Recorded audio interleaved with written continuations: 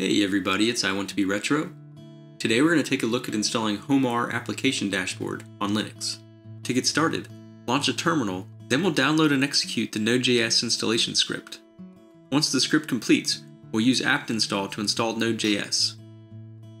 We can verify Node.js is installed successfully by running node-v and npm-v. Next, we'll use apt install to install the git command line utilities. We'll make sure we're starting in the user's home directory. Then using the git clone command, we'll clone the Homarr GitHub repository. We'll change directory to the location of the source code we just cloned.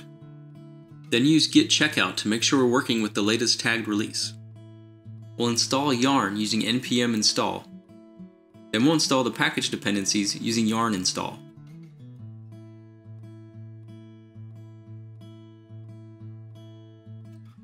We'll make a copy of the example.m file.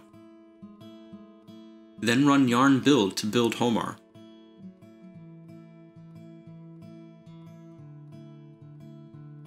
We'll migrate the database schema using yarn dbmigrate. Then we'll start the Homarr web service using yarn start. Open a web browser and navigate to the DNS or IP address of the host, colon 3000 click the Start the Update Process button. Create an admin account by entering a username and password.